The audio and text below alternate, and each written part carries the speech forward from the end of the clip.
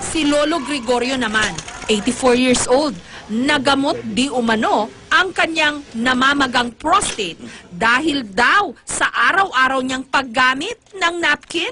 Marami kasi nagpayo na nakakatulong yan sa mga may depresya sa prostate. Kaya ang ginawa ko, gumamit rin ako. Dahil sa aming narinig, lalo kaming naintriga. Hi, I'm Greg, turning 85 several years ago. Nagkaroon ako ng sakit na prostate. Kanya ako ay eh, through examination, napansin nila na talagang meron akong prostate na sickness. Naramdaman kong hirap akong umihi at ang ihi ko hindi ko dangerous. Kuminsan malit pa bang ihi ng pusa kaya ako hindi nakabahan. Ngayon, nung in-examine ako sa Magaling Hospital, hindi ako tento. Kaya ako ay napag-examine ulit sa PGH para ma-confirm ko kung talagang may prostate ako. Totoo nga, mayroon.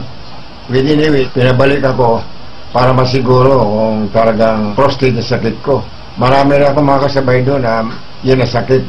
Yun na prostate, eh, nangyayari sa mga taong edad na 60 pataas, sakit na yun. Yun kung hindi magapan, maaaring ikamatay. Sapagkat iba nga, hindi na makahi sa kanyang sakit na yun.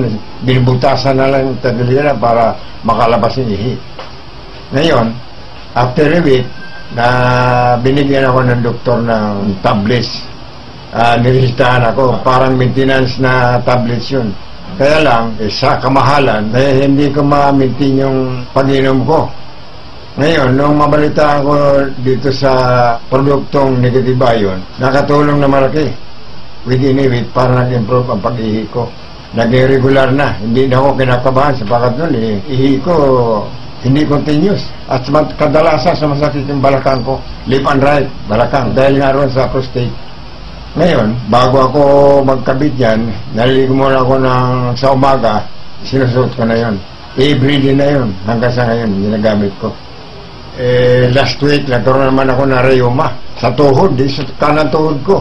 Ngayon, nag-inom na ako ng gamot na pang rayuma. Mayroon ng ginagamit ko is luhalinimin. Hindi na effective. May, mayroon pa akong na ginagamit. Kuminsan, wala, parang tinutusok yung tuhod ko.